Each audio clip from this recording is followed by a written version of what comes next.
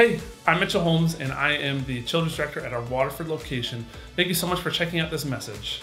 We're glad you're here, and we would love to get connected with you and your family. One easy way that you can do that is by texting the word River Connect to 97000. That's River Connect, all one word, to 97000. You can also visit our website at theriverchurch.cc to learn more about us and some upcoming events. Lastly, if you'd like to give to the River Church today, you can text the amount that you'd like to give to 84321, or you can head to our website and click on the Giving tab at the top of the page. Thanks again for joining us. We hope you enjoy today's message.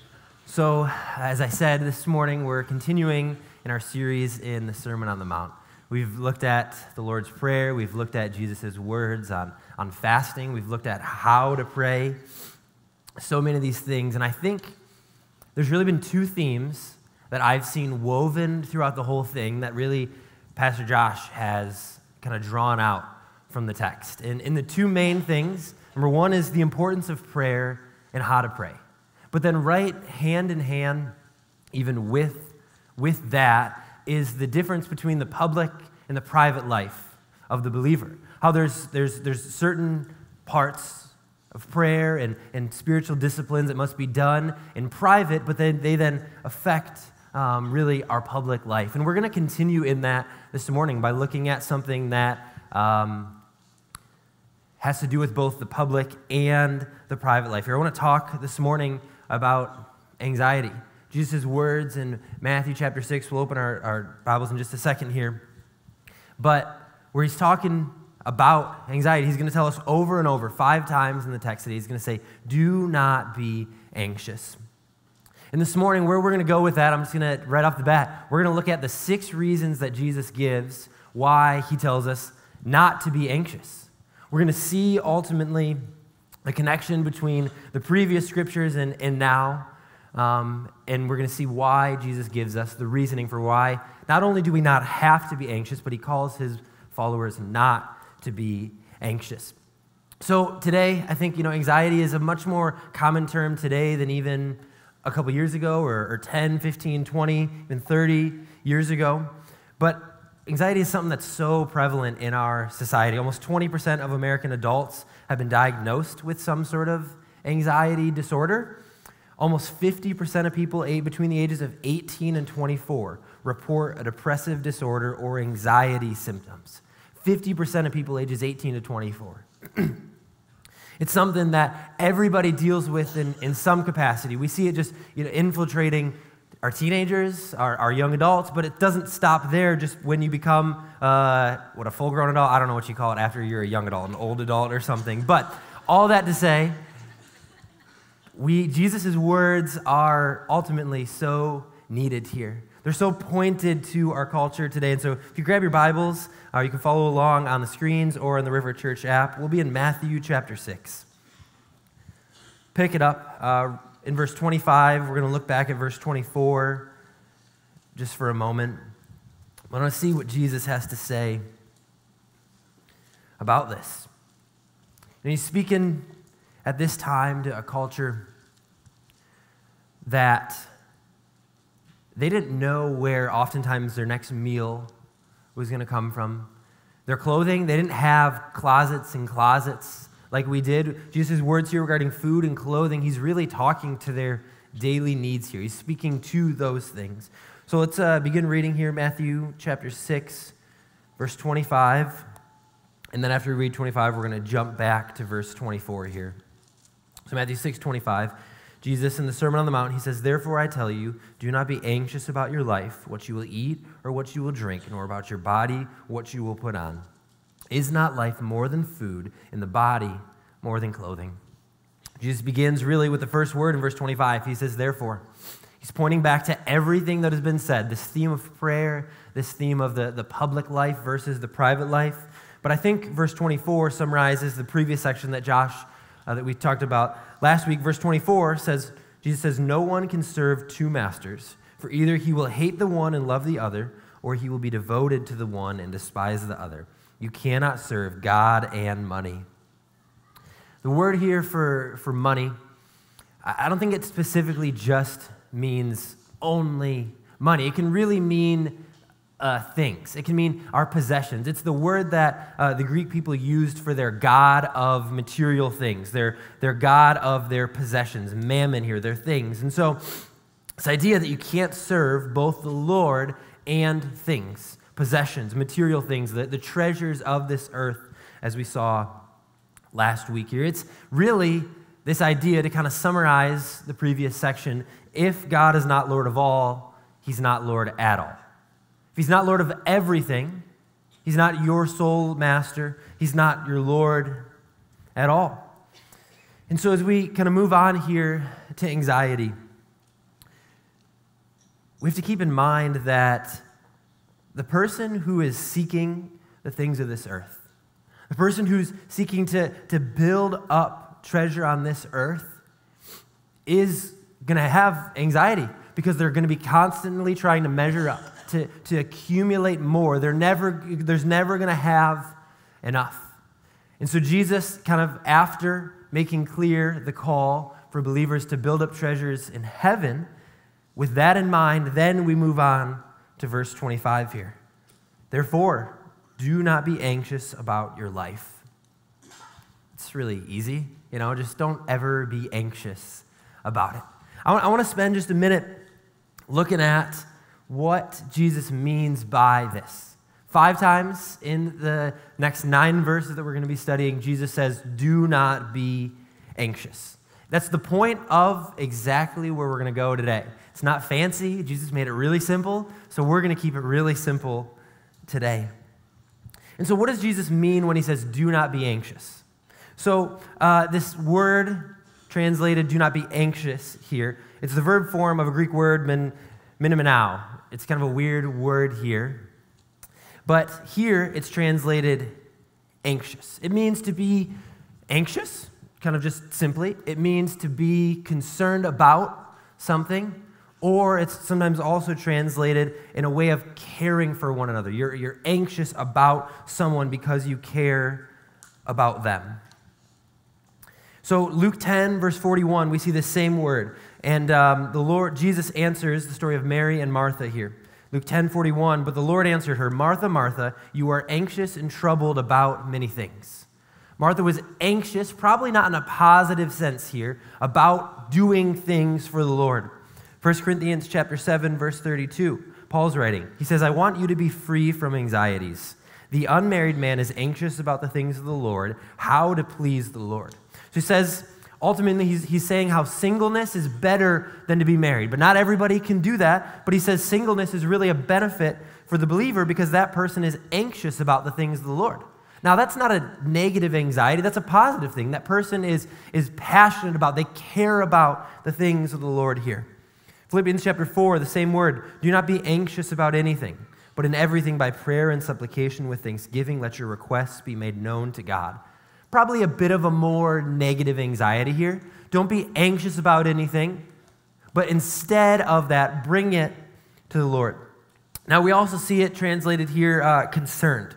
So, Paul, in an admirable, admirable sense here, speaking of Timothy, in, first, uh, in Philippians 2.20, pardon me, he says, For I have no one like him who will be genuinely concerned for your welfare. It's the same Greek word here, but, but this is a positive sense. Timothy is concerned about the church in Philippi. He cares deeply about them. It's this positive concern, anxiety here. And then lastly, we see it translated in 1 Corinthians 12 25 as care. That there may be no division in the body, but that the members may have the same care for one another. It's the same idea here of this anxiety, this care, this concern here. And then Paul specifically uses a, a, slightly different form of the same word, but in 2 Corinthians 11 28, he says, Apart from other things, there is daily pressure on me of my anxiety for all the churches. So we see that Paul had some sort of this anxiety. Now, his anxiety here, we can assume, is probably a positive anxiety, that he cares deeply about the church here. So I think there's two conclusions to draw as we kind of take all of this together to kind of build this foundation of what anxiety is and is not here. The first thing is that not all anxiety, and the word used for anxiety is bad. I think, I think a better word to help us understand it today is this idea of, of concern. You care about someone and something. Second thing here is that the call of do not be anxious is not a call for a who cares attitude. It's not like Jesus is just telling his followers, you know, don't be anxious in the sense that, like, you just don't think, don't let anything affect you, just go through life without having any cares in the world. No, that's, that's not what Jesus is saying either. Kent Hughes puts it really well. He says, Some concern is good, but Jesus is counseling us against worry that is self centered and has at its root a lack of trust in God. And so, the type of anxiety that Jesus is saying, do not be anxious, is this it's worry that is inward focused, that's self centered here, and is rooted with a lack of a trust in the Lord. You know, I, I, found, I found myself there often. I've been there. I felt that, but I, I also just want a, a bit of a disclaimer here as well. I don't want to just discredit anxiety as a whole. As we saw, 20% of adults, so statistically in this room, 20% of you are, have been diagnosed with some sort of an anxiety disorder. And I've, I've been there. You know, I spent uh, about three years, my early young adult years, from about eight, when I was about 18, 19, 20. Those years, I, I dealt with really bad anxiety. Uh, there were times in my life I can vividly remember being in rooms, and it oftentimes got worse, the worst, when I was alone. I'd be in a room, and I'd just be doing something. I might be try, thinking about something, whatever it might be, and I would just begin to suffer from an anxiety attack. And for me, this isn't what it is for everybody, but for me, I would be sitting down usually, or I, or I had to sit down, and the, the room would just start to kind of spin. And I would do nothing to bring it on myself. But then I felt like everything I was scared of in the world would come racing at me at the same time. Like I, I like saw things, not like hallucinations, but like it was just like the room would get dark, kind of into like just like see very clearly out, but nothing else. And then everything was just racing at me. My, my heart would start racing, my, my mind would start racing, and then I would just try and pray. I would try and do everything I could, but yet it, it just kind of had to allow it to pass. So I want to leave room for that this morning. I want to say that there's a place for mental health. There's a place. If, if that's you, please see a counselor. Please talk about it with somebody. I don't want you to take this as just like, well, I need to stop doing that. Now, I do hope this morning that we're going to see a little bit of the root of it uh, in, a, in a lot of times in anxiety, but I also want to talk a little bit more about this worry and concern side as opposed to the, the mental health, the anxiety disorder. And I can relate to that as well. You know, the, the, the worry and the concern side. I'm, I'm naturally a worrier. Uh, I don't know if, you know, Josh knew this when he asked me to preach this week, but I'm, I'm a worrier. I, I think my mind races, but I like to disguise it as overthinking. Or I like to, you know, say, I'm just stressed right now. Or, or for me, you know, it's, it's just a season I gotta, I gotta get through.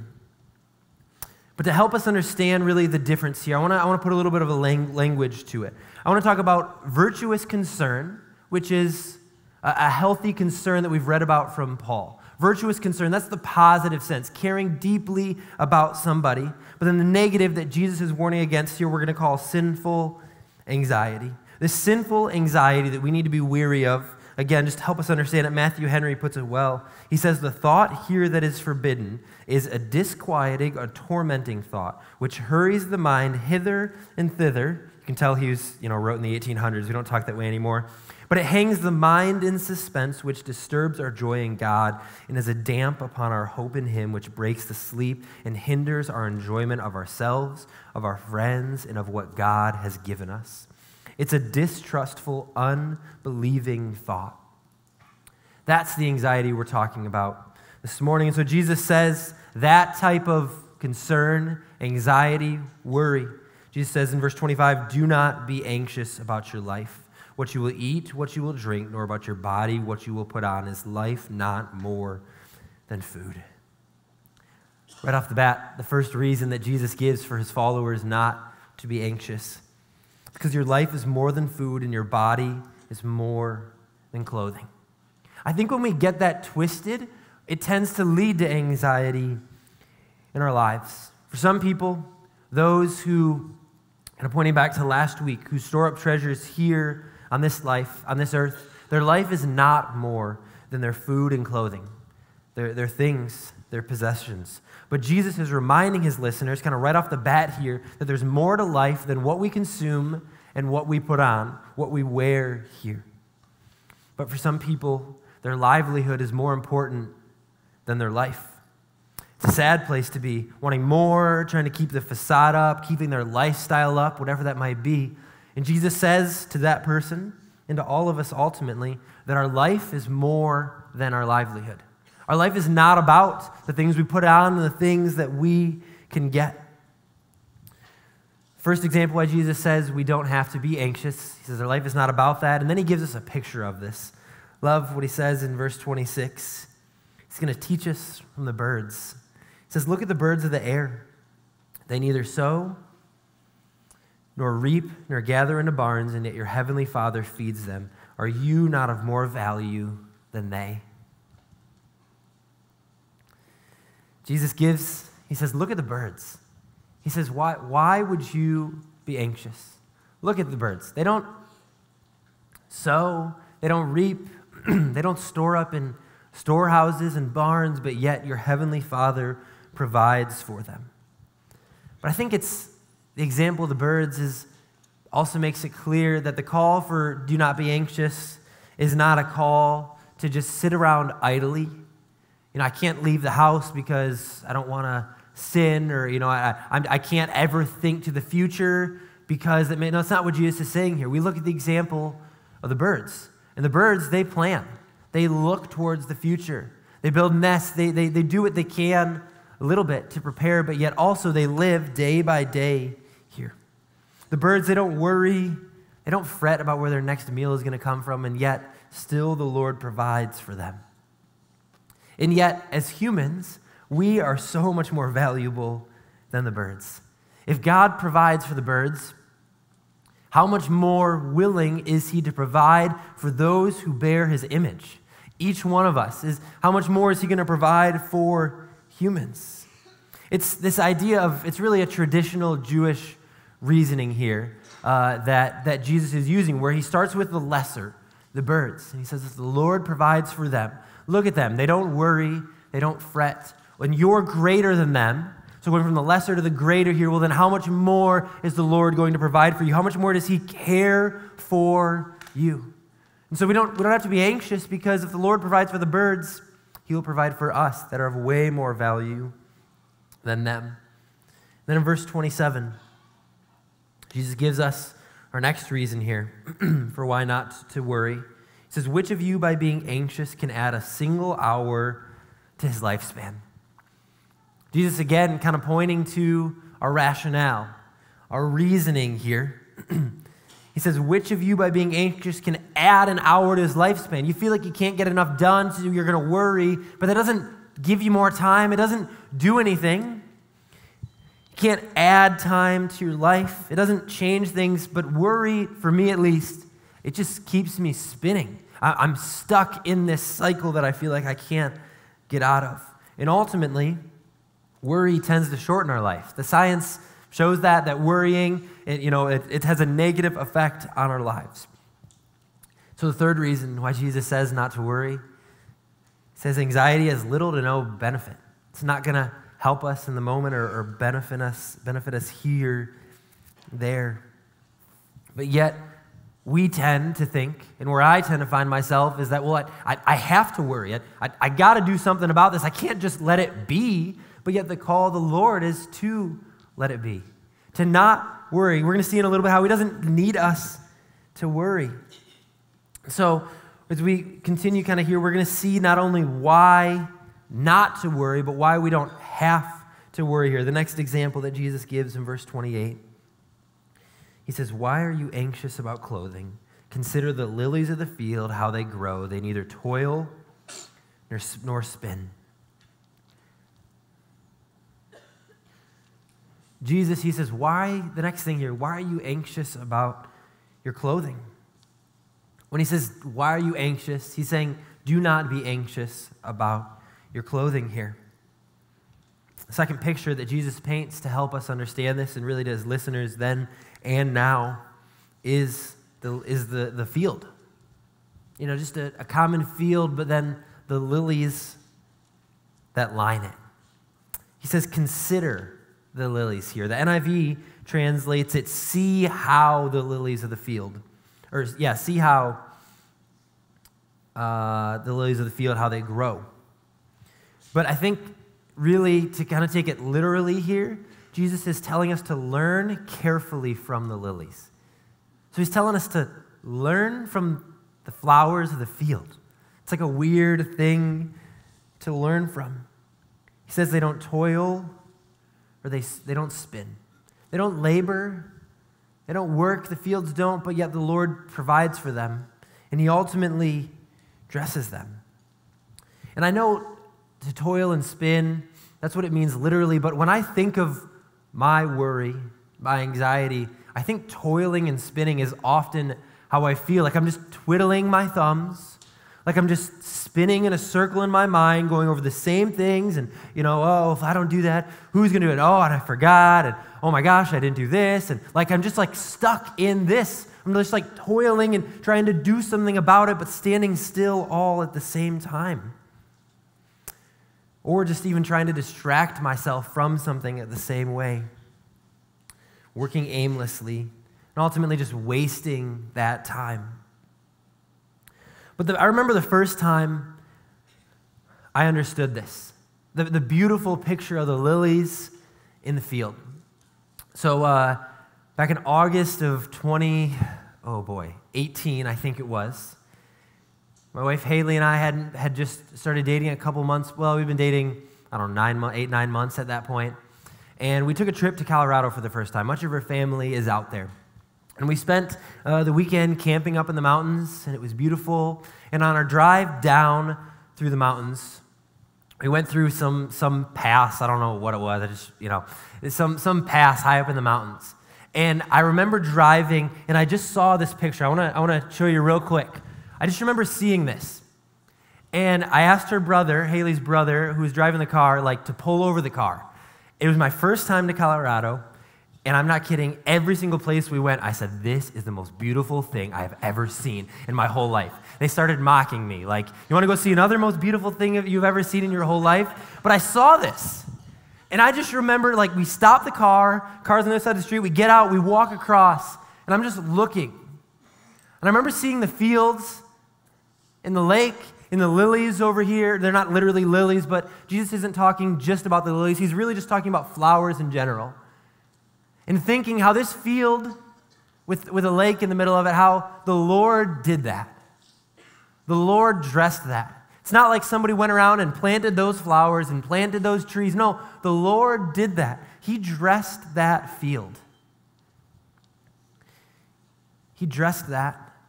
And yet he says, if I can do that for ultimately, he says, um, God clothes the grass of the field, which today is alive and tomorrow is thrown in the oven. Will he not much more clothe you, O you of little faith? How much more does he care about us than he does a field, that he will clothe and provide for us. You know, it's not because the field worked for it or because the field deserved that, but it's because of the Lord's care of that simple field of his creation, but then also his power to do something about it. So ultimately, the fourth reason why Jesus says not to worry, because God dresses the field and you are much more valuable than them. If he plants the beautiful flowers there, how much more will he dress and provide for his people? His creation, which bears his image and his value. Beyond that, he's still going from the lesser to the greater here. So if God clothes the fields which are short lived, the grass that'll be burnt up, it's temporal. How much more does He care about you and will provide your needs? Your clothes, what you need each and every single day. But yet we forget that. Move on. We get so caught up in what we have to do, in the striving, what we did do and what we didn't do, and forget the Lord's care for us and his power to provide. The warning that Jesus gives next sound a little bit harsh, but I think, I mean, not I think, I know that he knows what he's saying here at the end of verse 30. It says, Will he not much more clothe you, O you of little faith? Now, you might be sitting here, and the whole time you're like anxiety, worry, concern. That's, that's a feeling. It's not like I can just shut it off, but it's something I, I feel. And it is. Anxiety is an emotion. But Jesus says that our anxiety, our worry, our concern, it comes down to our faith. It comes down to our faith in his care and his power ultimately. The good news is that God cares. And that's good. That's a really good first start to care about something or someone.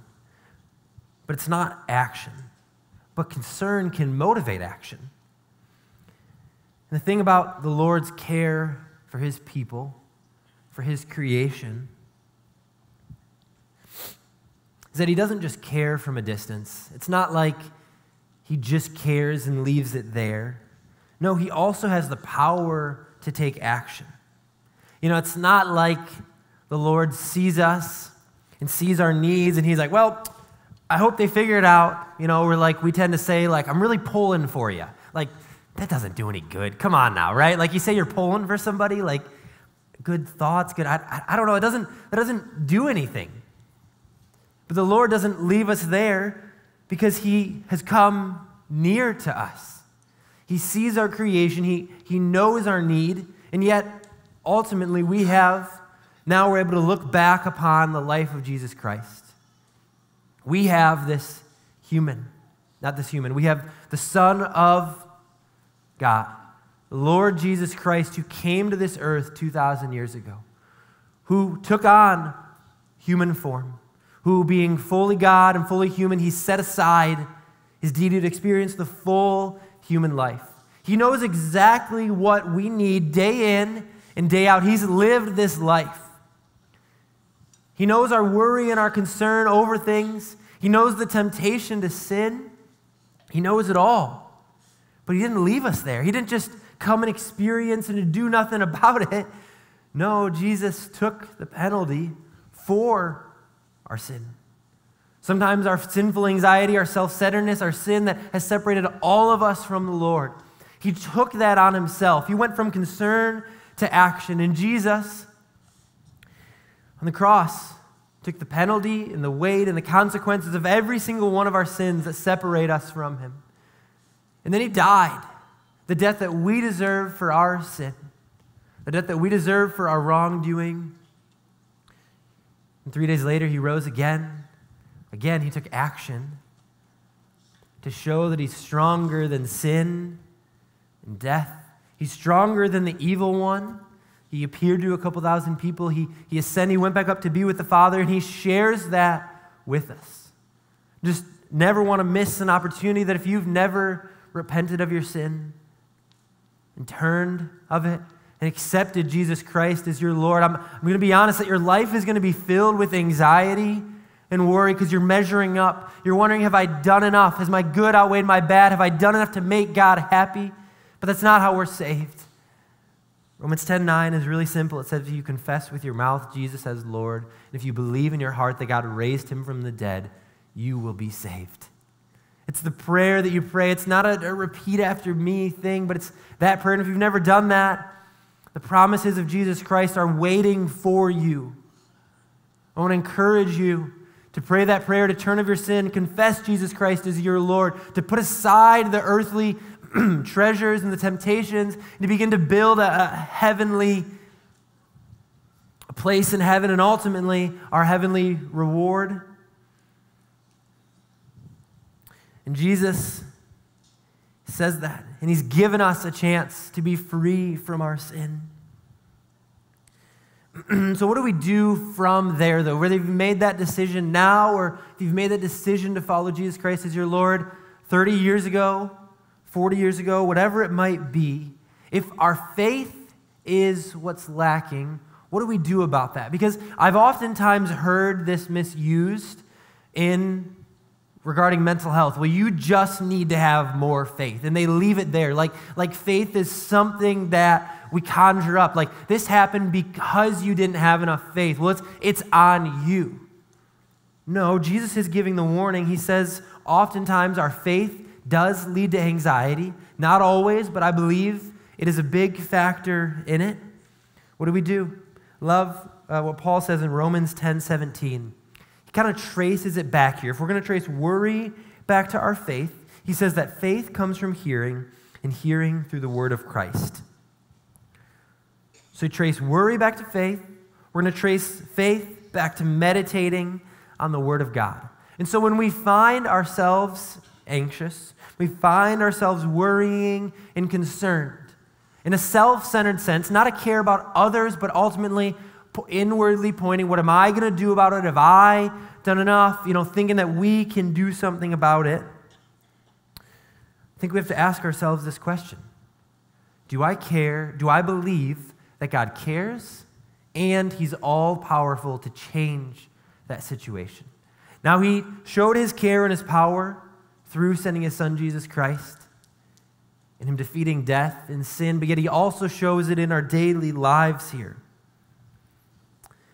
And I think when we worry and we're anxious, we're lacking either the trust in God's care or in His provision. That He's all powerful, that He can do something about it. So I just want to ask you, and for you to consider do you believe that the Lord cares and that He's all powerful? That He will provide, that He can and He will? So, how do we increase this faith? By meditating on the word of the Lord, by replacing our sinful thoughts with the holy word of God, by meditating on it, by praying and asking for faith, by hiding his word in our heart, as Psalm 119:11 says, I've stored up your word in my heart that I might not sin against you. Well, how do we have faith? By by having His Word, by hiding it in our heart, by feeding on it daily, day in and day out, by beginning our day in His Word and in prayer and asking the Lord, Lord, give me faith to believe that you can do this. Give me faith to believe that you care and you will provide for me. And Jesus gives us another action step here. Verse 31. Got to find it here. Therefore, do not be anxious, saying, What shall we eat, or what shall we drink, or what shall we wear? The Gentiles seek after all these things, and your heavenly Father knows that you need them. The Gentiles here is just really pointing at non believers here, saying non believers, they, they're concerned about these things. They want to build up their livelihood, they're concerned about these types of things, but yet your if, you if your citizenship is in heaven, you're a follower of the Lord, that's not our priority. Not living for the here and now, but yet oftentimes we do that. We live in the here and now. But we can know and believe. It's the key at the end of verse 32 here. Jesus says, Your heavenly Father knows that you need them all. Our heavenly Father knows what we need. The difference between the birds of the air, the lilies of the field, is that they don't have a heavenly father, but we do. We have a good, loving, caring father who, if he cares for those things, how much more does he care for us? He's not distant and unaware, rather, he's near and very in tune. He's experienced our needs, he knows our needs, and he sees our needs. When we forget these things, it oftentimes leads to worry and anxiety. So, what do we do with these concerns? We bring them to Him in prayer. We cast our cares upon Him. Cast them on Him, believing that He can change them. When we just find ourselves spinning, we'll just bring them to the one that can actually do something about it. We bring them to Him in prayer. So, the fifth reason why we don't have to be anxious is because our Heavenly Father knows our need. I think a beautiful example of this is a man named George Mueller. You might have heard of him. He's a Christian evangelist, director of orphanages in the 1800s in England. He was a man who really is known for his reliance upon the Lord for provision in his prayer life. Instead of um, finding supporters for his orphanages in the traditional way, he took the word of the Lord very literally. He fully relied upon prayer and the Lord to meet his needs. There's stories upon stories of him asking for the Lord, asking the Lord for something, and the Lord providing it. Instead of enlisting the people around him, which isn't a bad thing, he felt the call of the Lord to take this literally. And instead of advertising their needs, he would bring them to the Lord in prayer. One example of this is uh, one, one night he was heading to bed and he realized there was no food for the, or, for the orphans for, for breakfast the next morning. And so he brings it to the Lord in prayer. And I, I have to believe that it's not like a, Lord, you know our need, you know, like just stop. I, I believe he's like laboring in prayer before the Lord, petitioning the Lord, saying, Lord, would you do this? I know that you can. I believe that you care. You see our need. Would you provide for us? So he prays many hours into the night.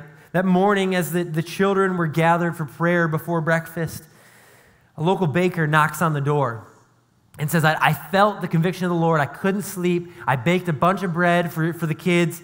Here you go. It's like, okay, that's cool. The Lord answered that prayer. Not a couple minutes later, the local milkman knocks on the door. His milk cart had broken down in front of the orphanage. The orphanage. His, the milk was going to go bad, and he says, take, take this. And the Lord provides for them. There, there's stories of, of George Mueller taking a, a, a need, a, a bill, a financial bill that was due soon to the Lord in prayer. That morning, somebody showing up, dropping an envelope under the door, with the exact amount of that bill needed to provide for it. Stories upon stories of people being compelled by the Holy Spirit to meet the needs of those around them. All the while, George Mueller not making this public, but keeping it private, bringing his needs and the orphanage's needs to the Lord, and trusting and believing that the Lord will provide. And I think there's, there's kind of two takeaways for us here. It's this idea that number one, his treasure, George Mueller's treasure, was not here on this earth. He was not trying to make a name for himself for the orphans, advertising their needs and uh, the good they were doing. No, he was looking to the next life by meeting the needs, those that the Lord called him to in this life.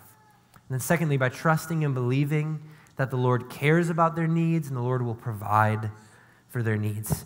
He really exemplified verse 33 here where Jesus says, Seek first the kingdom of God and his righteousness, and all these things will be added to you. Instead of being anxious, what do we do? We, we seek first the kingdom of the Lord. To, to seek something is, is a careful concern and really an earnest endeavor for it. You, can, you you care about it and you're doing something about it. You seek the kingdom of the Lord first. I believe we take that literally in the sense that we're to seek the Lord first. Our waking moments with the Lord this is something I, am not good at, but continuing to work at.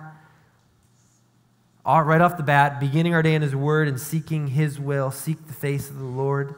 We also seek Him first in response to anxiety, concern, worry, a trouble, confusion, whatever that might be.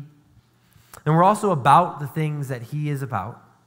We meet the needs of those around us. We spread the gospel to those around us. And Jesus says, as you seek his kingdom first, all these things will be added to you. It's the story of George Mueller. The Lord added their needs, provided for their needs because they were about things that he is about.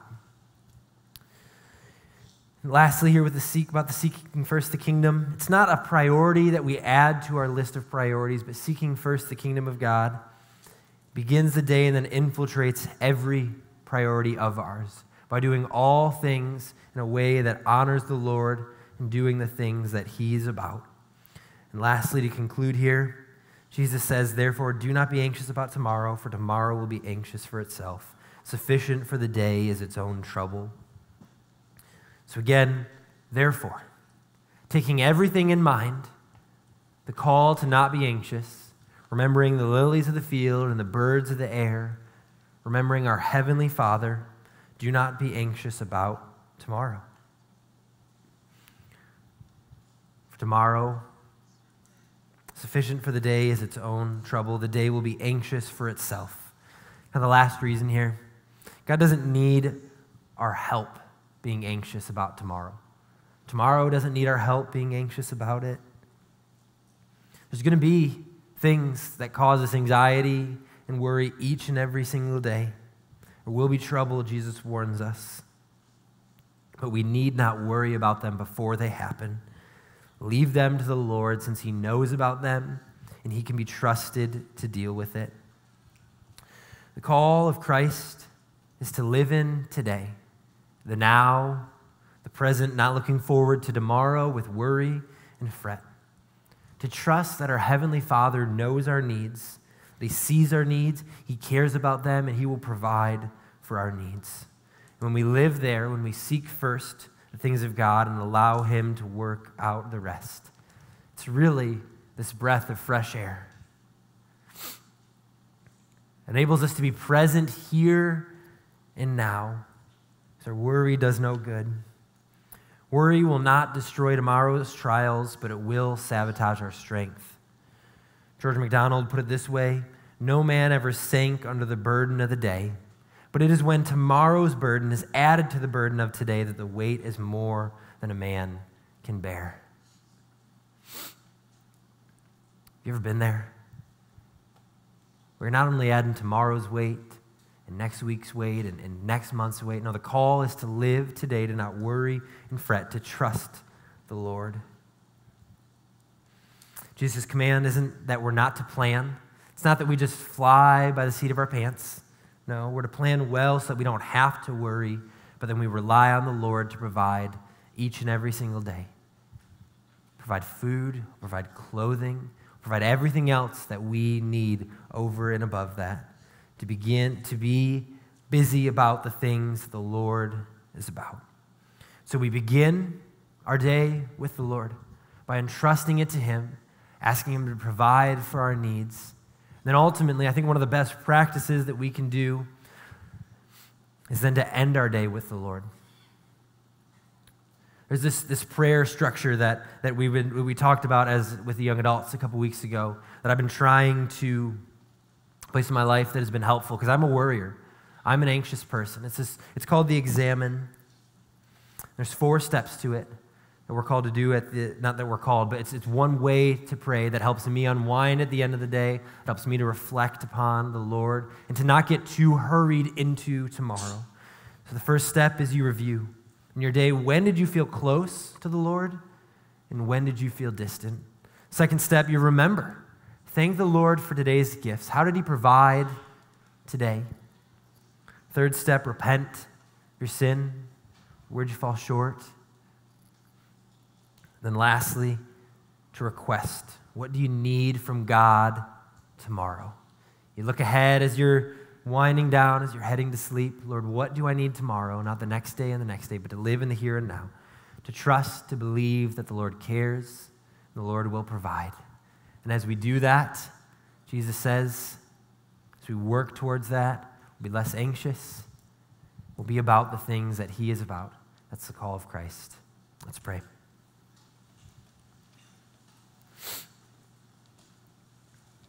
Lord, I thank you that even when we feel like there's more going on than we can handle, we feel like there's more than we're even seeing, Lord, you're not overwhelmed. Lord, you're not anxious, but you're fully in control. Lord, you see, you know. So I just ask, Lord, that we would be a people who take it one day at a time. Lord, and as we ask for our daily bread, would you continue to provide for it? Lord, would we be able to be busy about the things that you care about?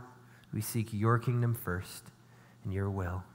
Quiet our hearts and our minds. Pray this in the precious, the powerful name of Jesus Christ. Amen.